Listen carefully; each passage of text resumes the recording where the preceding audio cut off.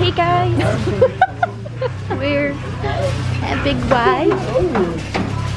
Juan can't have his dinner without his tortillas. He's too Mexican. Too Mexican.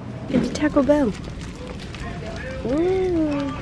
How do I Can you escort me to the bathroom, please? Sure can.